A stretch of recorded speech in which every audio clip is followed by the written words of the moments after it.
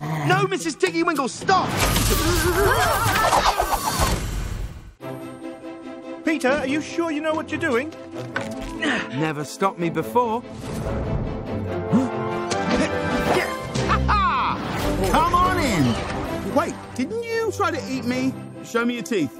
Do like a goat, like. "Arr." It was you. I knew it. How are you? So good to see you.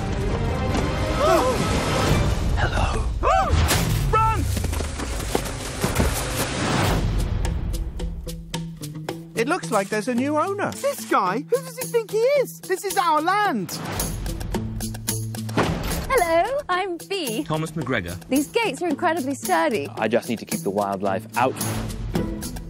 In London, we find vermin and we exterminate them. What happens if we touch it? We're about to find out. No, Mrs. Tiggy Winkle, stop!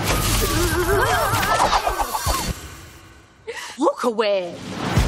This is our ancestors' land. It's time to get our garden back. We're gonna need everyone. Come on, Flopsy, Mopsy, Cottontail. Rabbits are perfect creatures. That was so classic. He was like, Things are not going to end well for you. it's time to bring the fight to him. London.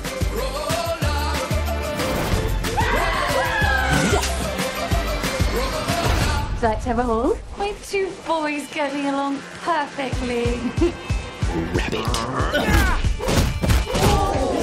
Thomas! And that's what separates us from the French.